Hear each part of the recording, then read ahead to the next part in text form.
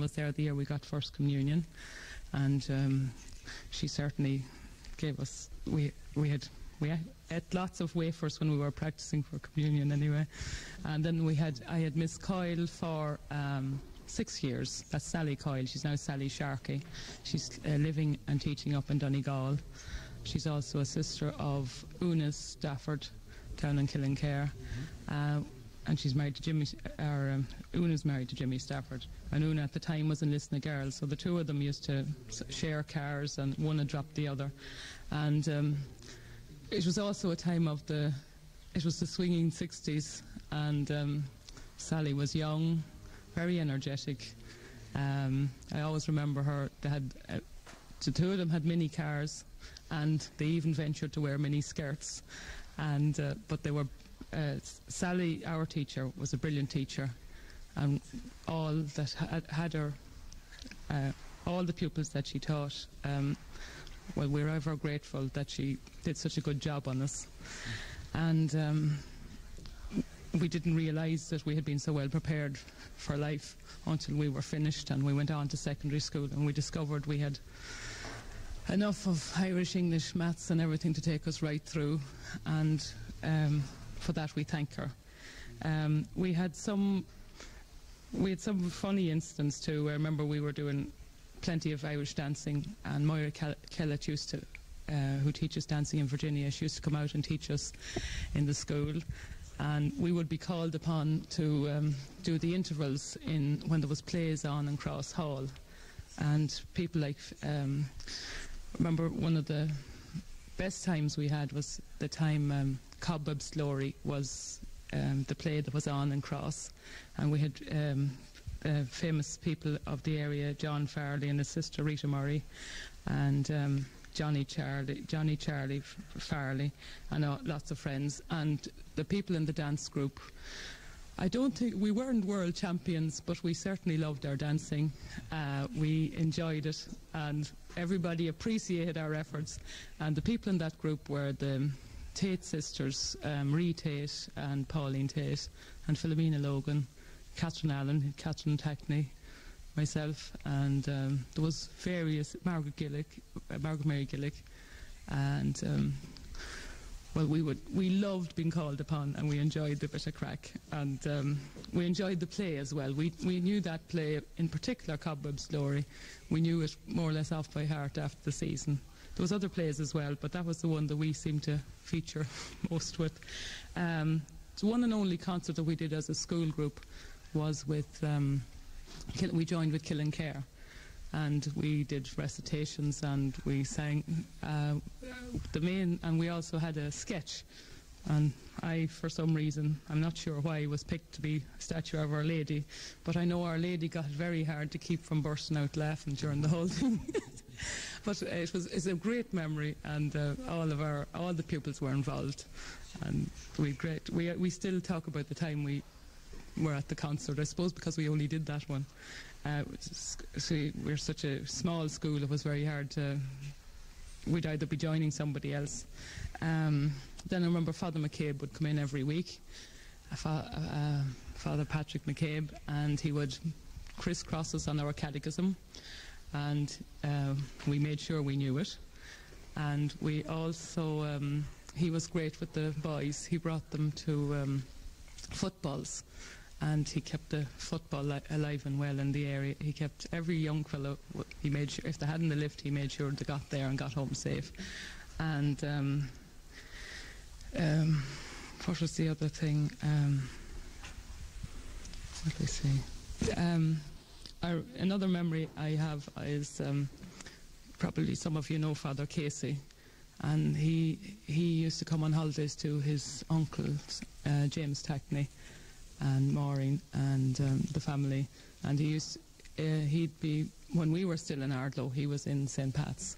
And he used to come up um, sometimes to meet Andrew and Catherine and Peter and walk down with us. I'm sure he'd be telling stories of St. Pat's and that. And um, uh, we, all, we were always amazed at his height even then, because we were that bit younger.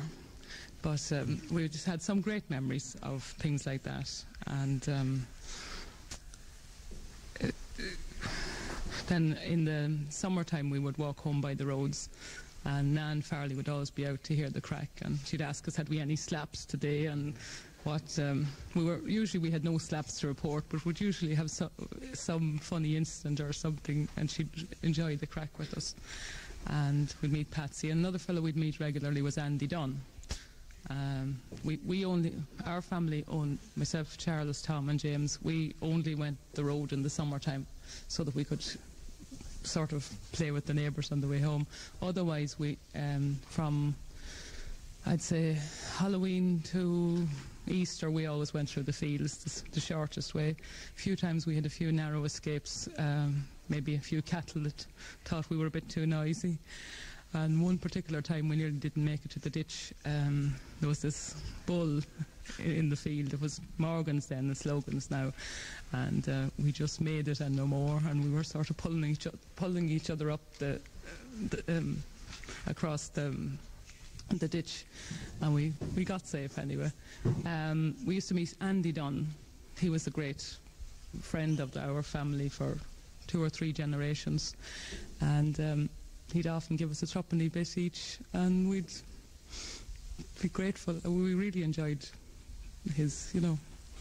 Um, another thing we did when we were in Ardlow with Sally Coyle, I was always amazed how, now that I'm teaching, um, she was she seemed to cover cover every part of the curriculum and we never I still can't figure out how she managed to do so much and to get it all done with eight classes even though there were small numbers, she still covered everything. And she always had time to sew and knit and sing.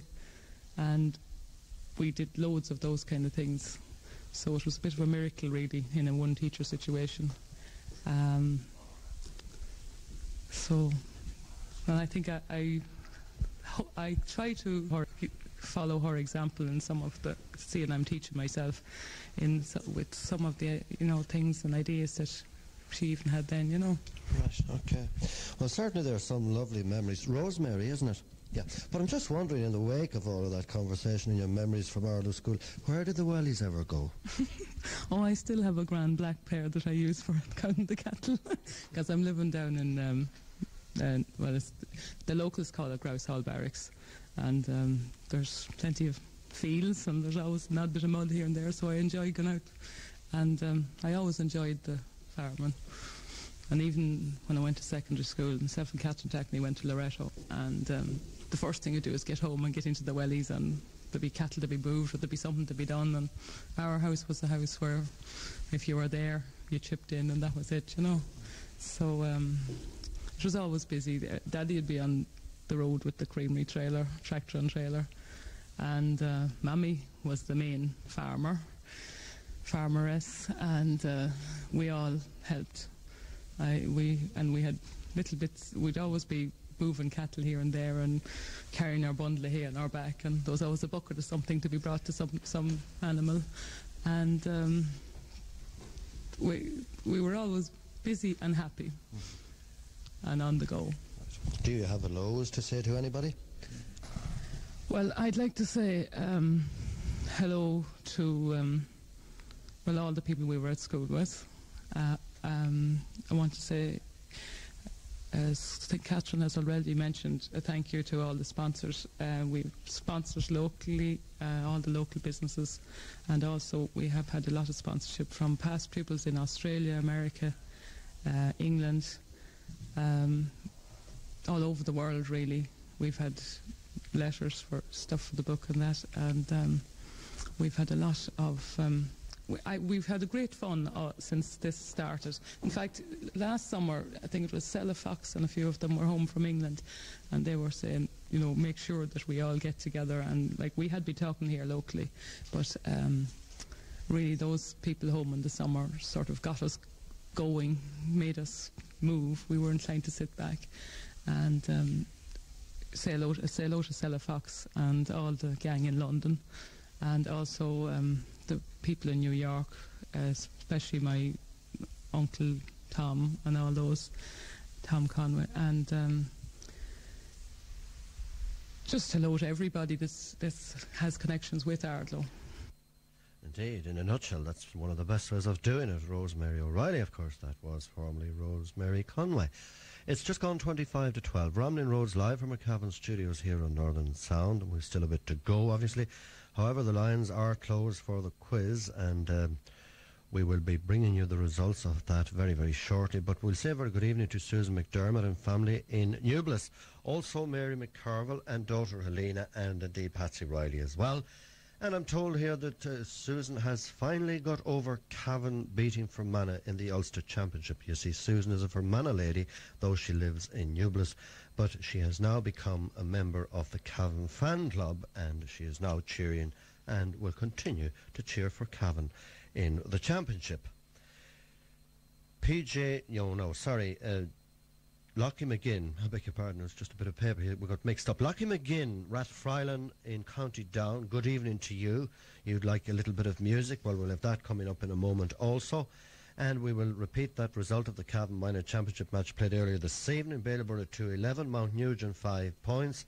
And results in County Monaghan this evening in the under 21 competitions. Donaghmoyne 17, Éire Óg 1 8, Castleblayney 1 12, Scottstown 1 6, Truagh 2 13, and Sean McDermott's three goals and seven points. That's what it says here. And we have no reason to doubt it because we had John Graham on a little bit earlier on in the programme. Now, we were telling you at the top of the programme, of course, last Thursday night was a big night for K and Nashville Sound because they launched a brand new cassette and had a great night over there in the hideout and a lot of fun and a lot of entertainment, a lot of music, and a very, very big crowd and a beautiful group and very enjoyable, very entertaining. And tonight we have two cassettes to give away from K and Nashville. So our thanks to them. And incidentally, well, I'll tell you what I'll do. We'll play a little piece of this first and then we'll bring you the results of the quiz. This is a little piece from one of the people, of course, that are part of that group that formed a few years back. Teresa Mark and Teresa, of course, was also at one stage a member of the Sheila and Wren Boys, and she was toured America and wrote songs and compiled them and all this sort of thing, and still does a fair bit on the accordion. This is a little flavour from Teresa Markey.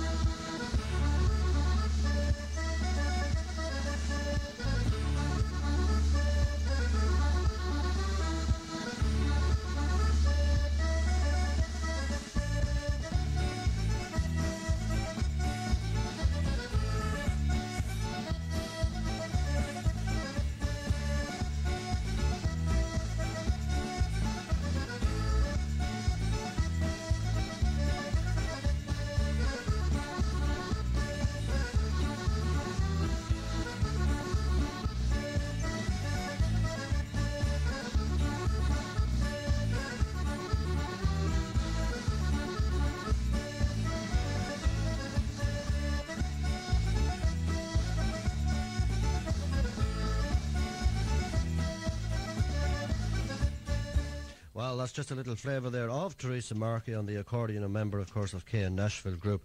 And uh, that is uh, one of the two cassettes that we will be giving away tonight for the lucky winners. Just to remind you also, of course, about that big festival coming up at the weekend in Mount Nugent.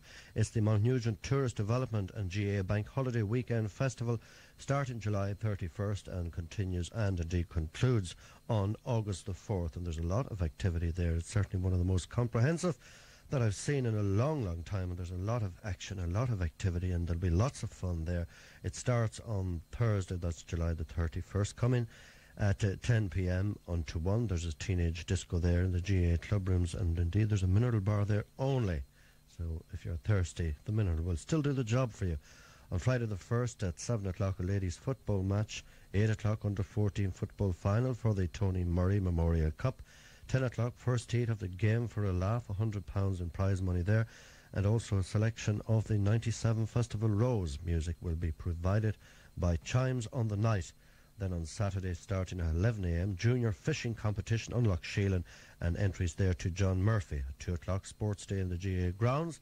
Races for all ages, tiny tots, under 16 boys and girls, plus novelty races and sideshows.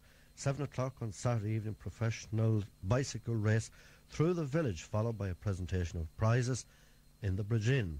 Second heat off Game for a Laugh on the same night, and music by Southern Comfort. On Sunday at 1 o'clock, 1 to 3, car treasure hunt, valuable prizes there again. At 2 o'clock, pavement painting, plus wheel bin races 4 o'clock, dusk, duck race on the River Inny and Terrier Racing and Donkey Derby. Bunny Baby Show 0 to 12, 12 to 18 months and 18 to 24 with Skittles at 6 o'clock in the pub yard. Music in the lounge with New Smoky. 11 p.m. on Sunday night, Monster Barn Dance and Barbecue in the GAA club rooms and music by Eddie Owens and Top Gear. While on Monday, the last day of the festival, starting at 2 o'clock, triathlon for over 14s at Crover Shore. Cycle run and row, then at 3 o'clock, boat races, ladies and gents mixed. While at 4 o'clock, children's walking treasure hunt, and at 6 p.m., the tug of war. 10 p.m., final of the Game for a Laugh, plus a draw for a return flight to New York, or rather, and $300. That's plus $300 spending money and music finally in the lounge on the night with links. That's all happening in Mount Nugent on this bank holiday weekend coming up. Now, where would you get it, as they say? Right, it's uh, just after 20 to 12 Ramling Roads, live from Cavan here. And the winners of our quiz, we picked out number 11, and that coincided with the name of Vera McPhillips from Rockcorry County Monaghan. That was number 11. The next number that came out was number 90, and the name in front of that was that of John Monaghan from Drumbarry in Kilnaleck. So that's a separate cassette going, obviously, to both of those. Well done. Congrats to you, Vera McPhillips in Rockcorry, and also John Monaghan in Drumbarry. That'll be on its way to you shortly. Stay with us for the rest of this programme, particularly for the next part of it. Everybody will turn down the TVs and listen very, very careful to this. Our next speaker on our Ardlow School reunion conversation is the name of that of Kathleen Holland, who of course was one time better known as Kathleen Rock, but now Kathleen Holland, married to Jean. Very good evening to you if you're listening. And I spoke to Kathleen about memories of the school days. But just one that comes to mind is the day the dentist came. It was a very hard day. You just pull your tooth, chunk a lump of cotton wool into it, and send you home, and that was it. Other memories was we used to have to go down to the well, down Tackney's well they call it, down the road, and some two, maybe myself and Margaret or Catherine or somebody, it'd be picked to go for the bucket of water, and of course we'd go down and get the bucket of water and come back up again, and maybe empty it out halfway and go back again, and Waste wa- waste time, you know, to not have to go back to school. Yeah, Margaret, uh, Mar- I'll introduce you here, Margaret Farrelly, of course you were then, now Margaret Mulleary, and also a past pupil of the school, I presume, and uh, certainly many different memories. And just when Kathleen talks about the dentist coming, I mean, we remember when we used to get the injections too, and quite honestly, a lot of us didn't know what they were for or what they were about, only that they were damn sore for a day or two afterwards. Yeah, that's right. Um, very, very sore. We used to have to go up to the dispensary, which was up in the pub was there as well in Lynch's. The doctor used to come there every Wednesday. And when you would need to, to have your injections, you used to go there. And sometimes you mightn't get off from school. You'd have to go up during your school time and back to school after your injection. A lot of us wanted the ha- half day sort of thing, but we, we didn't succeed in getting it sometimes. Sometimes it all depended on what mood Miss Stack was in. We, we might get round her, and there again we might not. My memories of ours are fond memories of our school. Um, one in particular wasn't too good. Was the inspector used to come to the school. I don't know, maybe once a year or something like that. But I was put standing on a stool to look out the window to watch the inspector come. But in the meantime, something happened. A commotion started behind me, so I turned round to see what was going on. And the inspector walked in the door. And needless to say, I wasn't Miss Stack's favourite pupil for the rest of the day. The p- inspector walked in, and there was a big commotion in the school, so I wasn't the favourite pupil for a while after that. You were reprimanded. I was reprimanded. Uh, Just on the bucket of water there, Kathleen was saying, I think it was one bucket of water did about 20 or 25 children. Um, we had a steel basin and we'd wash our hands in it and a towel that you'd bring a ch- different child each week not to bring home to wash it.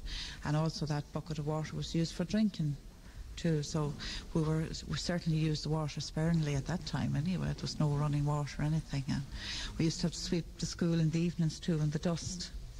Milkman used to come as well, and we That's used to all get our milk and hang it up on little latches along the wall to bring home with us in the evening.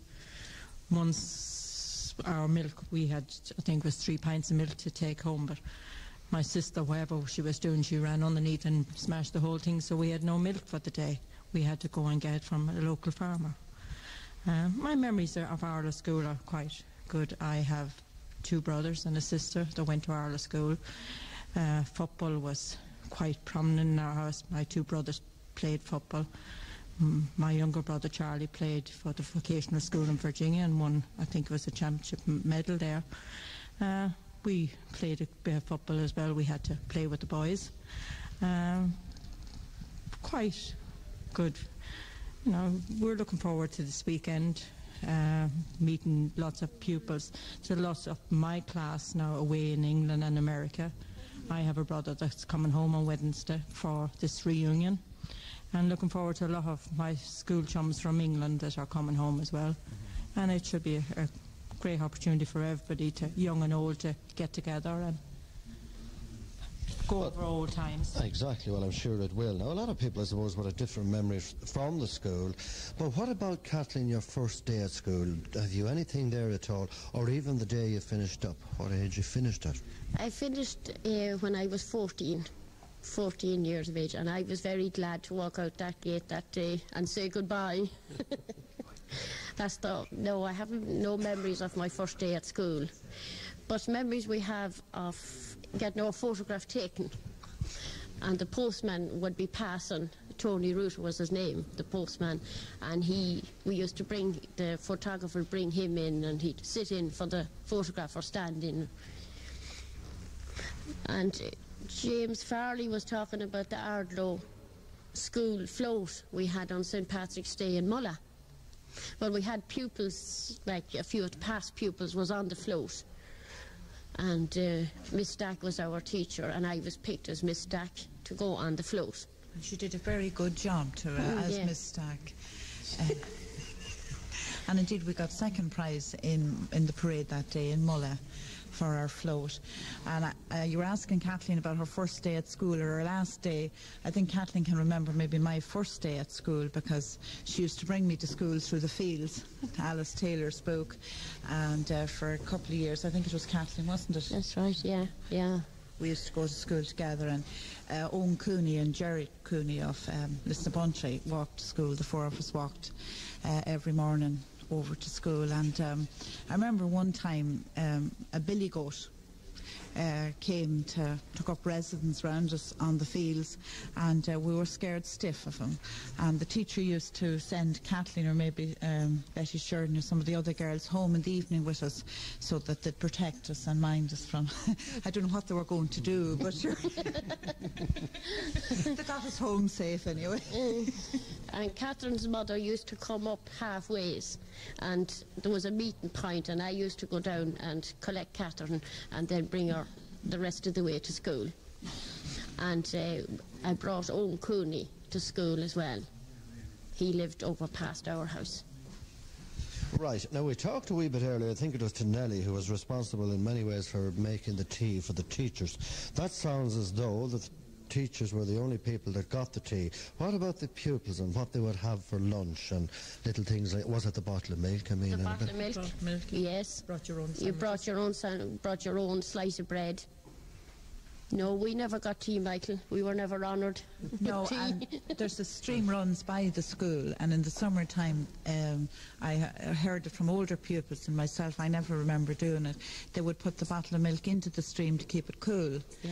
and then in the winter time, uh, the bottles of tea would be put around the fire, at and uh, coming up to about 12 o'clock, and the corks would be taken off. But some lad would go up to the fire to pair his pencil or something, and he popped back in the the cork. So you can imagine what happened then. There was an explosion all over the place, and I think older uh, pupils, one of them, have wrote in our book that um, one lad put chestnuts in the fire when he was lighting it one day and that there was a huge explosion and it blew the blackboard down off the stand and everything that so there was some hijinks at school too mm-hmm. Okay, now we talked to somebody else also earlier on about school. No, no, no. Nothing. No, there was school tours near the end of my days at school, but we were never allowed to go on them. My mother and father thought probably that we might never come back alive if we went on them, but we never went. Yeah, we that is a fact, though. yeah, yeah, we never, we never allowed go. And we used to have to bring our sodded turf or two every day to school for the fire. Now, you have to be very careful when you reply to this. But looking back on those number of years that you were at school, was there any fellow, young fellow at the school then that you had your eye on? No. No, No, Cat. I'm only very much in love with one man. But I'm talking about then, I'm not talking about now. No, no, No, no. No, romances did blossom uh, back, I suppose, years before that. Um, we have in our book, we've, I think it is about six photographs of weddings of um, Kathleen's mother and father both went to Ardlow School. Now, I don't know whether it was from looking across the classroom that they met or whether it was after that, but um, they were one of the couples that um, went to Ardlow School. And so um, there's a number of other ones as well. Nellie might be able to come in on that and tell some tales on the boys and girls. No? She used I'd used to. only just peep across the wall. She's, I never seen anything. You had a gawk. Gawk, that's right. Nosy. I don't think we were as far advanced those days as they are now. Um, No. Yeah. Not like now. No, boys, di- boys didn't come into it at all. No. We had too much enjoyment ourselves with to worry about the boys. Even the boys kept to their own They side kept to their own side of the playground. The girls kept It to was their segregated, really. Boy, there was a boys' yard and a girls' yard. The boys played in their yard and the girls played in theirs. That was basically it. Yeah. suppose the only fun was going home from school. Yeah. The boys and girls then. That was about the only time that we joined together was going home from school. In, in later years. Sally Coyle used to keep us from talking and she'd put a by and a girl sitting together mm. to mm. keep, mm. to keep us from talking. So I suppose that was the way we grew up, that we weren't supposed to talk to them really. and we used to go up from school in the evening and we used to have an old penny and we used to go into Alfie Lynch for sweets. And then as we grew older, we used to buy the cigarettes. And uh, three or four of us would smoke out of the one cigarette. Miss Stack used to send us for her cigarettes, uh, and sometimes Alfie mightn't be open, so we'd have to go all the way into town.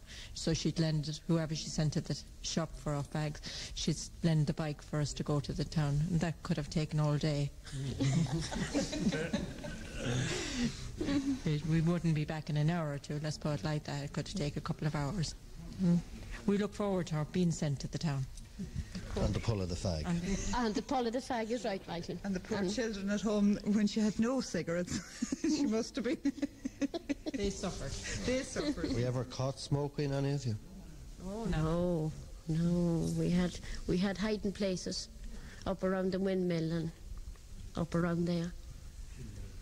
Was there any particular or special part of the schoolyard where you dined? You used it as a canteen, a certain corner, beneath a tree or anything like that? At the back of the school, more or less, we sat and had our lunch, and that was all. There was no, there was no tree really. No. There was no landmark in the yard really. See, uh, most of the boys, uh, we, we'd have our lunches at in, in the in the school during lessons, so we'd be able to get a full half hour of football. Most mostly the, we'd be nibbling at our lunch under the desks, and as soon as the bell would go, we're out for the game of football. That was, uh, I think, was the most important part of the school day to us, anyhow. Uh, uh, Catherine said there about uh, one bucket of water. If You remember after the game of football coming in, especially in the summer, we'd we'd be fairly thirsty, and was the bucket of water would be there, and one tumbler was one plastic tumbler was all that was there, and so the first lad he'd lift it and they'd give it. The second fella, he'd be so thirsty he'd probably put his head into the bucket. we wasn't very hygienic, but didn't do us any harm, any, I don't think. Not a bit in the world. Now, if you think of anything else, you're quite entitled to come back to me, but you just reminded me of something else when we were talking about the dentists and we were talking about the doctors and we were talking about the nurses. And we talk for a minute about the sacraments because, I mean, preparing for the sacraments, it was also something very special at school and many different memories from that, Father Leo. Oh, yes. Um, preparing for First Communion, first of all. That was a long process. uh, Father Macaulay was very, very particular about our preparation. Um, I remember one, one thing from his uh, lessons, just one, for First Communion. He was talking about breaking the fast. Now, of all the ridiculous things you could talk about, he said, if you ate a lump of a stick, that'd break the fast. But if you took up a pebble and swallowed the pebble, that wouldn't break the fast. Now, that certainly was hair splitting. Anybody take up a lump of a stick and take up. But um, confirmation was a much more serious matter because the bishop only came, usually at that time, the bishop only came every five years to administer confirmation. Now it's every single year, which is a very good thing. But that time, uh, there was a lot of a lot of soul searching for it. Dr. Trainer was the diocesan examiner. He was a strict man. And as far as I remember, uh, Charlie perhaps could correct me on this. Did you, were there various degrees of passes? You got a ticket for confirmation. Yes. yes, yes. Were, were there different colours f- for merit? I, I had the feeling there was. There was, there was a while there was something like that, all right, but that was discontinued as far as I remember. That they were all the one colour then afterwards. But there was a while, there was a year or two, there was something in that. Uh, Father McCarthy, he was a great man, uh, and he never got a car, as you know. He had a pony on trap. The school, when he came to the school, we'd, uh, well, when we were third or fourth class, we'd be sent out to hold the pony. But he never bought a car. He had a, he finished. He never he never owned a car, as far as I remember. You remember the pony? He had a great pony on trap. and uh, you had um, no one had passed him on a bicycle. I remember we tried a couple of us, and he did the pony whip, and he was gone by, uh, and we were good on bicycles at him. But uh, he was a great pony. He was from, as far as I remember, from Cavan and they were great horse sheep. Adam Macaulay's people were great horse sheep. I think they owned the Farnham Hotel at that time. Yeah, yeah, his brother owned it, yes. Right, okay. Well, yeah, we'll continue anyway with our subject and talking about confirmation. And as you rightly say, I mean, confirmation only came around every five years or so, which meant that really, if you were a boy, you would be on the fringe of shaving, I suppose, what the girls would be doing. I'm not too sure at that age, but anyway, we'll not go into that one. But yes, a lot of the boys might be 16, 17 when, when the term, when the confirmation would come up again. And I mean, coming back, getting instruction, joining thing, children who were a third of their size. And uh, it was quite, a, it was quite, a, this confirmation was quite an experience. But I, I came across a poem in this same Bory log about um, confirmation among the early settlers in Australia. And circumstances much the same as what would be anywhere in rural Ireland at the time that Ardlow School was in its heyday.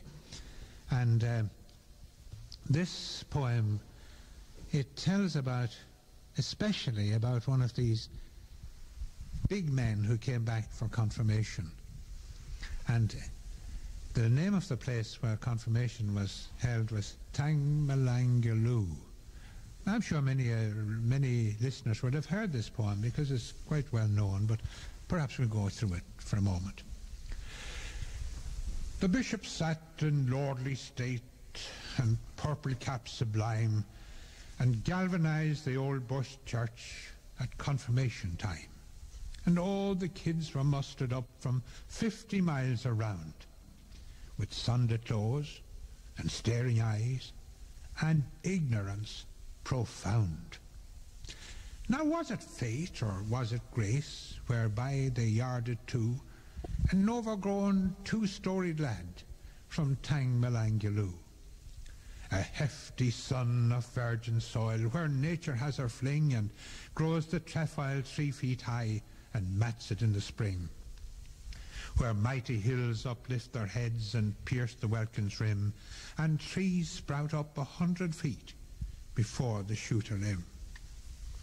There everything is big and grand, and men are giants too. But Christian knowledge wilts alas at Tangmalangaloo. The bishop summed the youngsters up as bishops only can. He cast a searching glance around, then fixed it on his man. But glum and dumb and undismayed through every bout he sat, he seemed to think that he was there, but wasn't sure of that.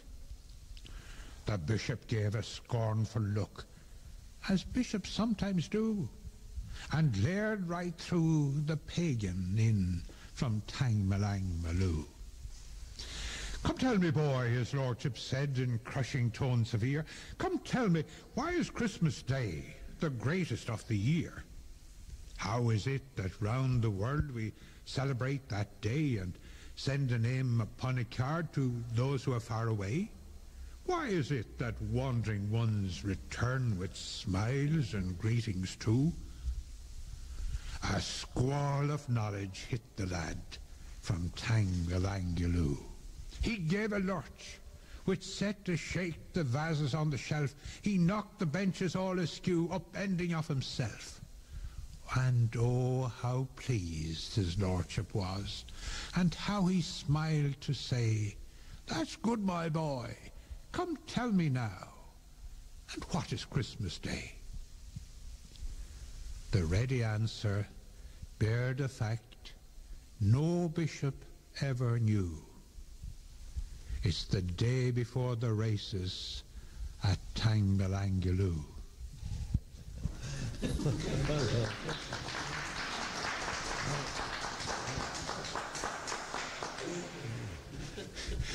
Michael, before you go away, perhaps uh, we could underestimate the value of uh, these country schools uh, at that particular time. You know, when you have all the wonderful gadgets you've got in schools now, computers, television sets, all, all these masterful things. But go back now, just take that, one of those schools which amalgamated to form Ardlow, that was Raffiney School. And three granduncles of Padda McCabe's, I don't know if Padda's still here, three of his granduncles became priests two of them in the Diocese of Kilmore and one in the Diocese of Down and Connor. And two of my own granduncles from the same lane and the same school became priests who were both ordained in Cape Town in South Africa. Now, in addition to that, Catherine already mentioned uh, the O'Farrellys. Uh, there was Professor Alphonsus O'Farrelly. He went to school in Raffiney, that one-room school. He became Professor of Science in University College Dublin until he retired. And his sister, Agnes O'Farrelly, was one of the most famous women of her age. She was one of the first ladies in Ireland to become a graduate. She was one of the founder members of the Gaelic League. She organised Gaeltacht schools in Ranafast. She organised uh, home industry for the women of the Gaeltacht. She was one of the ladies who organised camogie in the country. And all that came from a one-room school. So we shouldn't uh, think in this age of so much technology that these schools were uh, inadequate. Oh, they turned out to create some wonderful pupils. You were asking Kathy had she her eye on any fellow when she was at school. It's going to come out in the washing now, is it? Oh, is it going to come out? well, I had a horror of. There were big girls at school, you know, too, just the same as there were big fellas going for confirmation. And for some reason or another, maybe I was a comedy youth, but some of these bigger girls used to carry me around in their arms, and I hated girls. I hated them.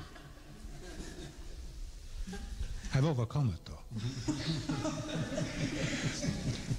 so there were the lighter moments, but you know, you carried all these things away in your uh, memory afterwards. Um,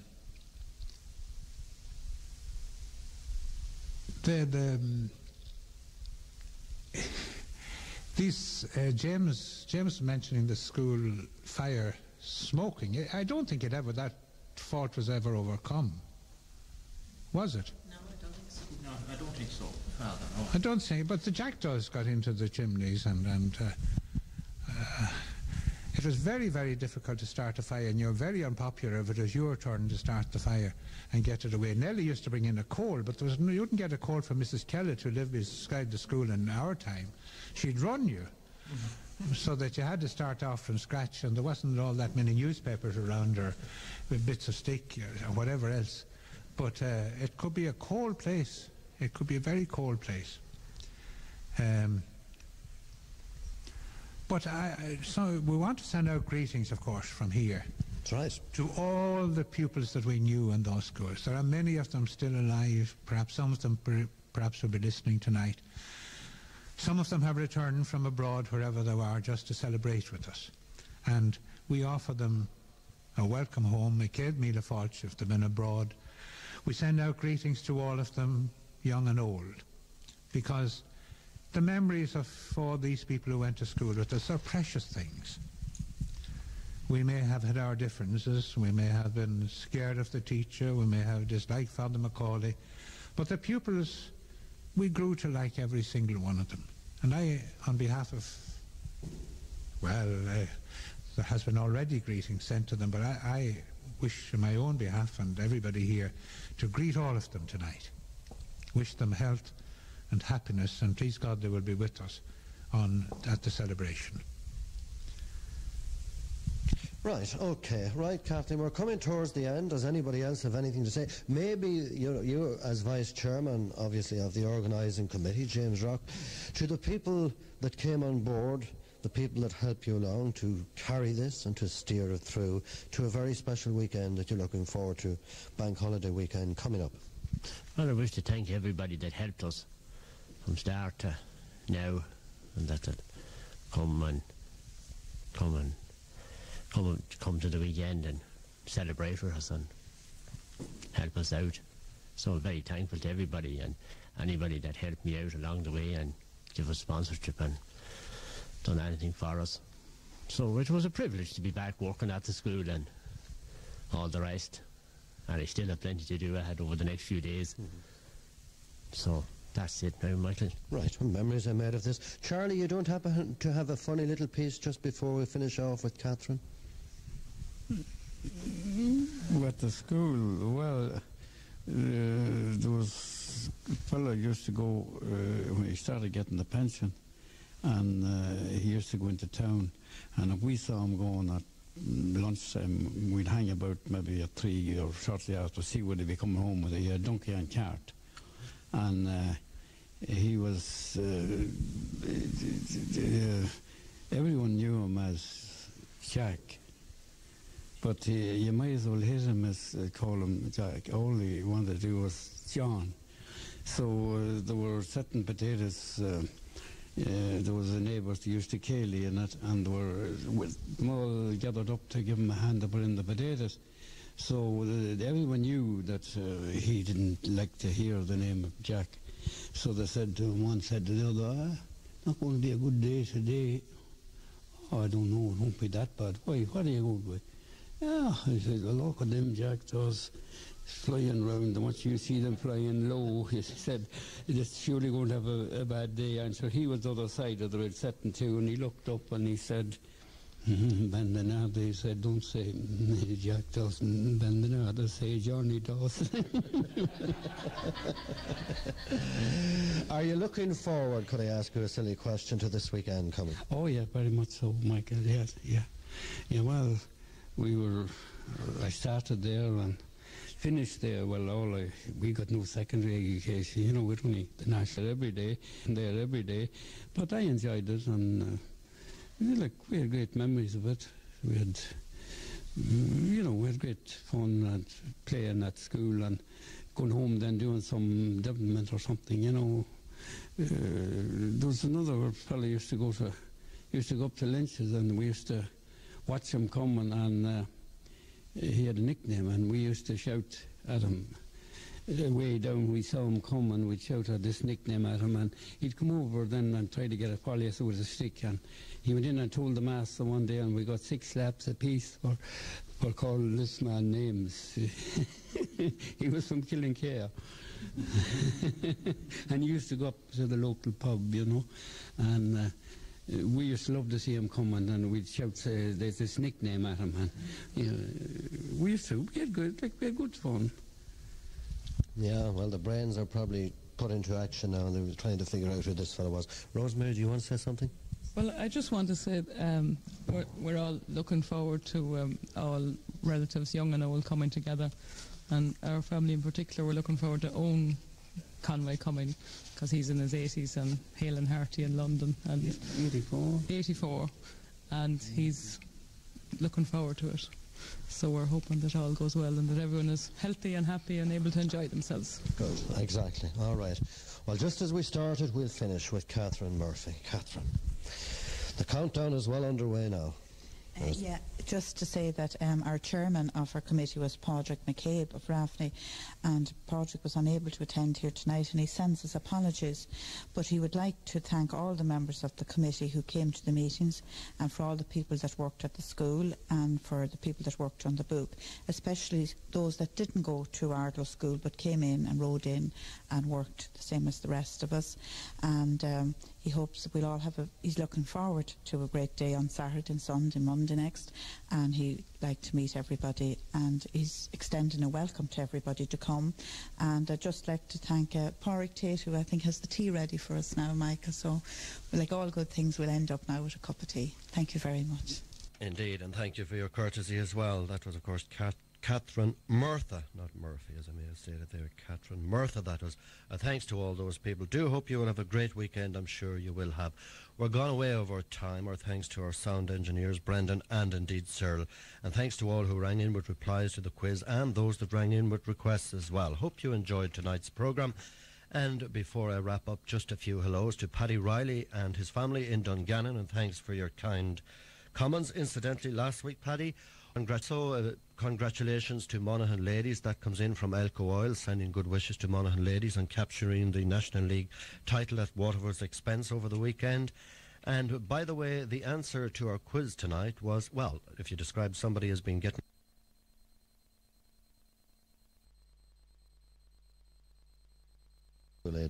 Um, James Farrelly, Felim Lynch, Rosemarie Catherine Allen, they're talking there to Catherine Allen, they're talking there to Catherine Allen there. She's Catherine Morton now, and. Well, any, anyone I know. Did you get off lightly because the teacher was living in your house? Oh, they took it out. Eh? Oh, they did, And just, the, the- just the same. Brought the story home to your mother. Yeah. We couldn't meet from school that time. Or anything like that. We're living close enough and that.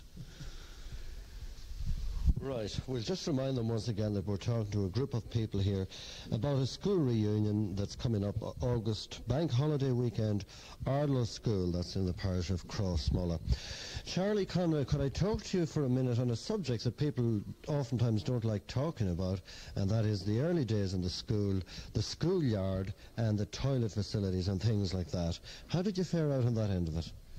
Well, there was a wee, hou- a couple of wee houses, but there was no running water or no nothing, and uh, there was one uh, the girls' side and there was one on the boys' side. So there was a big high wall between at the back of the school. I think it's, it's there yet. Well, you took a bit out of it there, I think. build up the outside wall. Yes, that's right. There was, yeah. And uh, like, uh, you went out there and there was uh, the facilities were very, very crude, you know. But you did your business, You did. and they done the job. Yeah, done the- That's what you're trying to tell me. you done the business is right. There was a bit, there was a seat, there was a, a board across, and there was a, a, a bit of a vacancy. And then, then there'd come a man ever so often to clean out the toilets. And there was one man that used to come and his son used to say the father had a good job, he was working on the schools, but he never said it was sanitation. and indeed, in later years, he came to, uh, another man used to come and the teacher always pet him before he went to do the work. Because she didn't wish for him to come into the school after he did the work. So now we can gather why that was. yeah, but there was always the boys and the girls Oh, yeah. playground, and That's right. That you was- darn come know, round. Oh, I darn come round. I got the best whack on top of the head uh, ever I got in my life. I, I, I put my head across the wall. Well, the girls, uh, it wasn't the toilet, it was the. There were, it was a, a, skipping, a the- skipping rope that other side. And The I- thing that was sitting on it. Oh, Charlie, oh, don't, don't talk anymore. the, the skipping rope. You know, they were they had a skipping rope, the girls, and we had a high wall, and I climbed up. A couple of us pushed climbed up and down to look across to see just the other side. of the, the girls was at the, with the skipping rope, and there was someone who come down with a uh, with a, a stick, and. I got the best whack ever I got in my life on top of the head with this stick. I soon come down. Yes, it was all in good faith and a bit of fun. Oh, wasn't it? they were, they were, I enjoyed the school. We had, uh, you know, we had great, uh, great fun. We'd go out and kick the ball then in, in, in the meadow, or Lynch's bottom, as we called it at him. And the masters always, an odd time, uh, Alfie Lynch got good to him at be going to cut hay or rushes on it down at the bottom of it, and he'd complain to the master, or tell us they shouldn't, you know, we're tramping the meadow, not to go out there. But master give us an odd how to go over. No way were we to go out. Well, maybe two or three days we wouldn't, but next thing they were out again. in A few days, a few hours, he'd forget about it. And we'd be out there again. What were the simple games you played at school? Uh, oh, we had uh, handball, uh, football. We had a, a football. We used to go out in the uh, down in the. We had goals. Bit, well, there were bits of sticks just put down in that meadow. Lynch's is there yet, and. Uh, then we'd uh, we had uh, we'd run races. Then we had uh, go out in the meadow then and we'd uh, run races down to the bottom of it and who'd be back up. So it was you know it was great. Uh, we had good fun. Were there any school tours? No, not at all. School tour. I never knew. I never heard of a school tour. Uh, I I went to England at 16, a month short of it, in 1935, and I, uh, hardly ever was on a bus or a train in my life. Like there was no school tours or no going to a city or anything, you know. Oh, there was no word about them. Now, in later years, the school used to join up with Cross to go on school tours. I think Peader there remembers being on school tours. And I, I, remember being on a school tour one time with Mike O'Connor. However that came about, I don't know. But uh, the bit I remember about it was um, we went to Dublin, we went to the zoo and the airport and a few of them places, and then we went to HB Dairies. We got free ice cream and things was going a terror.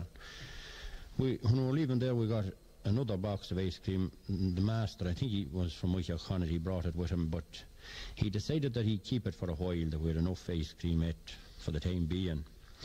So he put it in the bus and it was a rather warm day and So it moved. next thing was it started to run out the door and we were very sorry looking looking out after it. Peader McCabe, you're renowned for putting songs, writing songs, and making up little bits and pieces. Are you going to sing for us tonight? Yeah.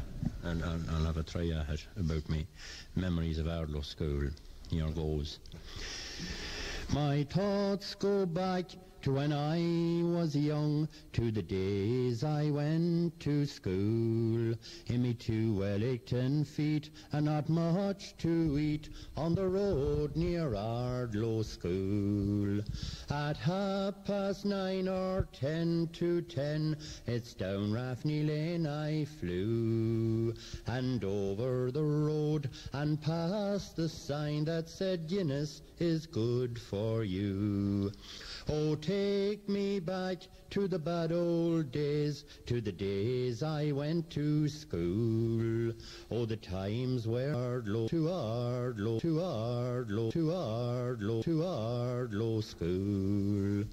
Now Biddy Stack was the local NT. She came from County Kerry, and it's often she nearly split my poor head with a bell or a sod of turf.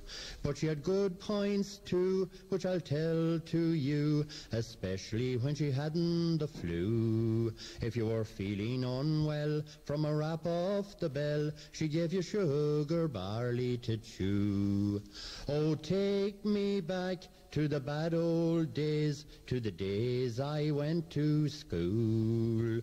Oh, the times were bad, I always was sad on the road to Ardlow School. I remember the day Miss Stack didn't come because she had to go away.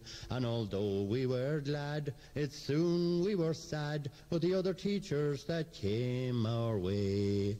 They lined us out against the wall and made us learn their rule. And it soon we would swap the whole bloody lot to have Miss Stack back in Ardlow School. Oh, take me back to the bad old days, to the days I went to school. Oh, the times were bad, and I always was sad on the road to Ardlow School.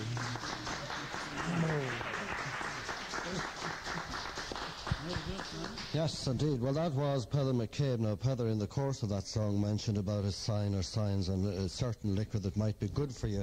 That's something apparently that you never tried out, Charlie Conway. No, no, I never touched a drink in my life, no. Uh, I, I worked in London a month out of 16. I worked in a pub, and I don't know, the more I saw of it, the less I thought. I never, uh, I never touched it in my life. Oh. I don't know the. I'm nothing the uh, nothing the richer of it, but. Oh no. yeah. Right, okay. We'll just remind them again, Catherine, I suppose, about the, the weekend's events. And in particular, because obviously it's over a three day period, this, and I mean, do people, if they go the first day, miss out on something the second day, or do they mingle over the three days? Yeah, well, we'd like to think that people days that come on the three days, that there would be something different for them. Um, on the Saturday, the main emphasis is on the school, and uh, we're busy now at the moment. Um, the hard-working men have the school complete and we'll be soon starting to furnish it with desks and uh, maps and whatever we're given uh, to bring back the old school days again. And then on Saturday night we're having a céilí and a get together. And on the Sunday then, Sunday is the main day really when we will be having the Mass and uh, the meal and uh, the launch of the book um, by uh, the last teacher in Ardlow School, Sally Coyle. And uh, it is, as I said before, a very extens- extensive book of 320 pages and lots and lots of photographs and uh, much more than the memories of the school, memories of the area. And we hope it'll be a very useful reference book for the County Museum and indeed the library. We intend to present copies of it to the County Library and the County Museum and uh, the library in Bailieborough in Virginia. Good, okay. I want to turn me back to Charlie Conway when I ask you the next question, and that is, could you tell us who the oldest pupil is uh, around now in the area that would have attended the school? Uh, well, the oldest pupil is Sister Oliver Gillick. Uh, she's a patient at the moment in the um, Omega nursing home down in Belturbet. She was born in 1901 and she is the oldest uh, pupil. And um, the youngest uh, would be that attended school would be Vincy Farley or Andrew Tackney. They were both in high infants when the school closed. And um, there was just two in high infants actually when it closed. And I think the last girl to go to Ardlow School was my own sister Noreen Allen, so and Breda Lynch as well. They were the two last in that class. So, um, yeah, Sister Alpha would be the oldest pupil. Uh, there's also uh, Delia Lynch. I think she would be born in 1902. And at, um, she's not that well at the moment, and I'd like to send her best wishes. And also best wishes to Jerry Trainer, who um, wrote um, his memories for the book and is ill in hospital at the moment. I wish him a speedy recovery. And also to Patsy Flynn of Doon, whose wife Brig trainer went to Ardlow School too, and he's been keeping a very active interest in the work of the committee, and he's um, not that well at the moment either, and I wish both of them speedy recovery. In actual fact, I think I spoke to a brother of Patsy's recently that's home from England and probably around for the event. Not too sure, was it Kevin? Kevin, yeah. Well, Father Charlie Gorman, or O'Gorman, is it you're the uh, curate here in the Cross Mullet Parish? You looked at me when I said the O. Is the O in it or is it out of it? I think the O was inserted by an uncle who was a priest in California way back in the 20s, and he wanted to up his status a little bit and perhaps, uh, you know, belong to the nobility. So instead of just plain Gorman, he put in O. Did that help to make a man of you? it gives me a touch of class, I suppose. right, okay. Enough of that. Uh, the school reunion, August bank holiday weekend. Uh, good idea, a lot of work, a lot of hard work obviously involved, a lot of thought and a lot of effort, and uh, let's hope that the weather indeed in particular will go along with it. Well, I mean, I'm a Johnny come lately. I'm, I'm nearly not on the committee, but uh, I'm full of admiration. You know, when you're driving on that road from Virginia to Bailieborough, you think you're going to drive into the forecourt of this old dilapidated grey building, but it's only when you hear the stories and the memories uh, at a gathering like this that you realise how much life there was there. Um, you know, in the 75 years of its existence. Uh, but for next weekend, it will, won't be a grey building. It will be full of colour and full of life once again. Uh, it's great to see it, and the committee has been extremely diligent and hard-working in their research. So. I'm sure they'll get the support they deserve. It'll be great to see a tent, uh, a bit of nightlife down in Ardlow, which it lacks. um, and we're all looking forward to next weekend, Michael, yeah. Just a little bit about your own background and your own school days. Well, I went to the Brothers in Cavan. I went to Kilnacrot. I think I closed down Kilnacrot. Well, it closed down shortly after I left it anyway, the secondary school. And then I went to St. Pat's for the last two years and from there to Maynooth. So that completes my education. Mind you, my education is greatly enhanced tonight. Um, I was just talking to our new bishop, uh, Leo O'Reilly, during the week, and I was telling him that I'm killed out trying to sustain conversations about football. I can go for about five minutes before I come out waving the white flag. And he asked me, how are you on the second cut of silage? I said, I'm learning fast. I'm learning about vegetable growing from Charlie Conway here. So, you know, those topics are very... I'm expert. You could end up a poor farmer. I could, yeah. yeah well, I'm so, yeah. Certainly. All right, okay, that's of course Father, Father Charlie O'Gorman. And uh, Father, you, you have something else to add to us? Well, seeing the Father Charlie talk there about football and it's the burning topic at the, at the moment, uh, I just wanted to mention there that there's a bit on football in the book, uh, an interesting piece, and there was a team at one stage in Lisnabuntry, which wouldn't be too far away from Ardlow, it'd be the very lower end of our parish. And believe it or not, they made their way to a senior league final at one stage. I think it was in 1930 and got beaten by Cornafane. Now, that would have been the club that the great Donald Morgan had started his career with, and uh, P.D. Morgan, Pat McNamee, who played with Lisnabunt, another famous county man. Uh, the club didn't last too long, and uh, he kind of joined up then with Cross. But uh, there was another team in Ardlow to be a kind of a, a local team now. It, it, it wouldn't be affiliated to the county board or that kind of thing, and they used to play matches every other Sunday with a, another unaffiliated team from next Virginia called Mullinmore. Uh, someone took on to say that Mullinmore was known as the Mullinmore Dreadnoughts and Ardlow was known as the Ardlow Standbacks. I don't know whether that was true or not, but that's what was said. But uh, them games back in the 30s, them games were played religiously nearly every Sunday. And uh, I suppose that's why that football means so much in the county Cavan and why there was so many Cavan people in Clones last Sunday. And I suppose it's only fair to mention it on the weekend that's in it. Of course, you're well represented from the area on this county team that you're hinting at. That's true. Uh, the Colin Club, which is the club from the parish of Mullagh, has three members on the county team, and uh, it's great to see it. It's, I suppose, it's great to see Cavan doing well, but it leaves it even better when there's three players from the local team on it, and we want to wish them well and hope that they go the whole way and bring back Sam to the parish. You're not asking for much, are you, really? Not really. Not really, right, Heather? James Rock, you're the vice chairman of this organising committee.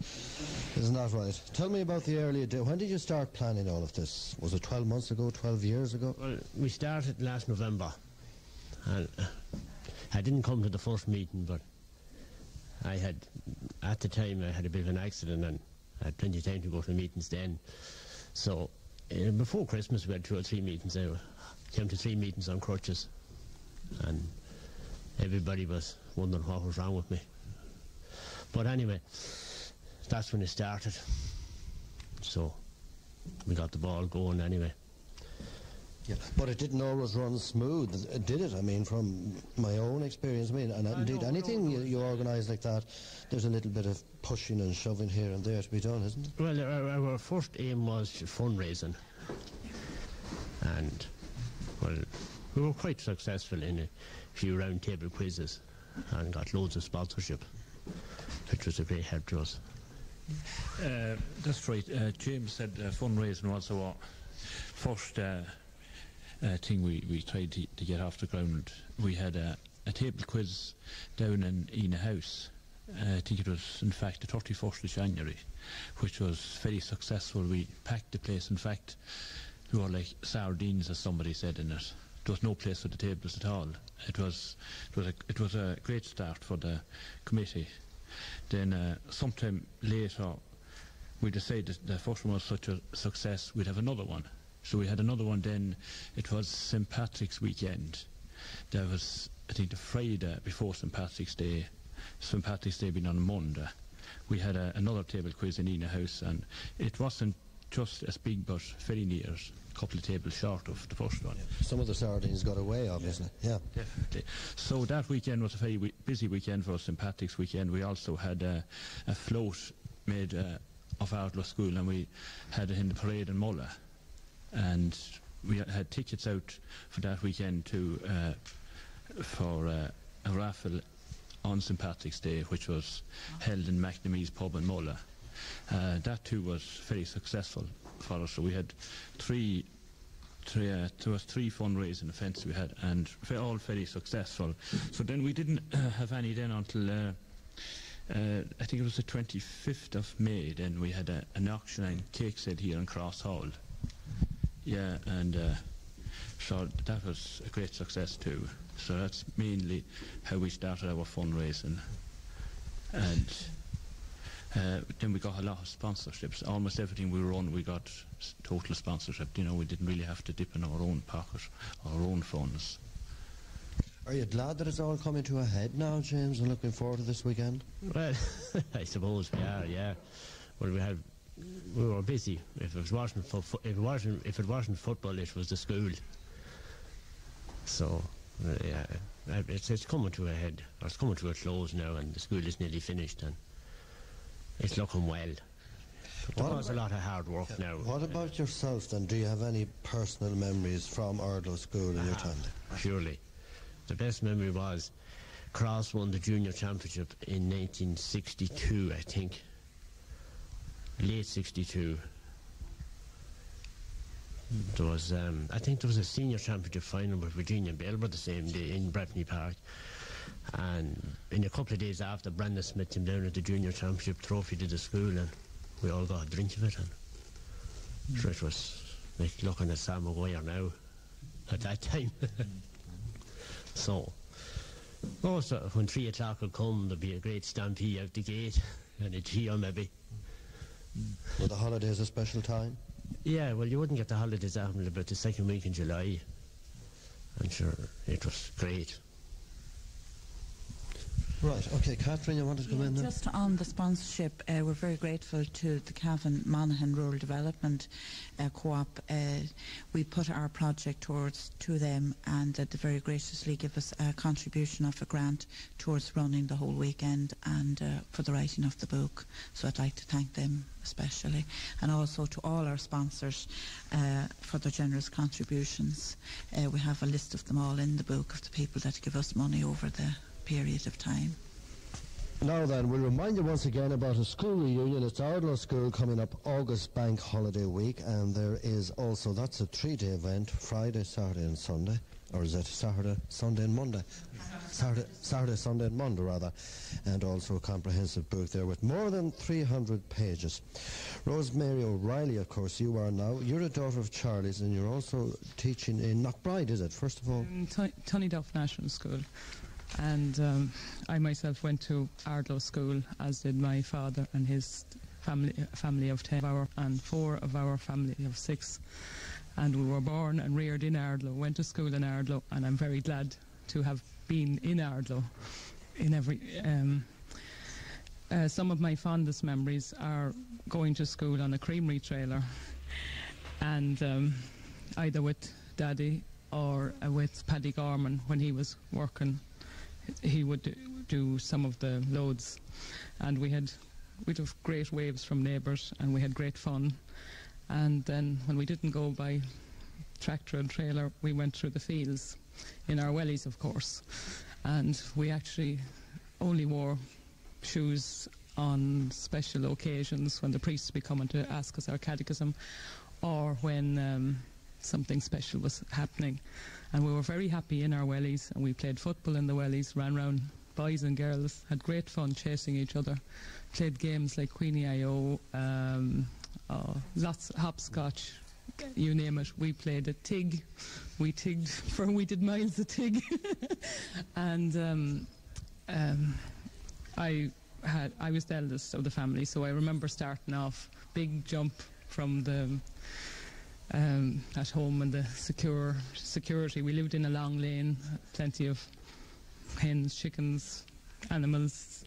Uh, I was always in the wellies. I was around with my parents.